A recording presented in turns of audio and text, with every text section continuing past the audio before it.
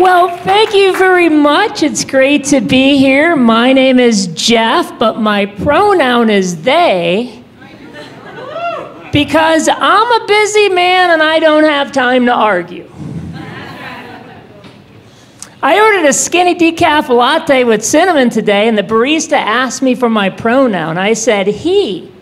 But seeing how I just ordered a skinny decaf latte with cinnamon, I'm pretty sure she is still on the table. he said, Sir, pronouns are no laughing matter. I said, In that case, my pronoun is yours and my preposition is up.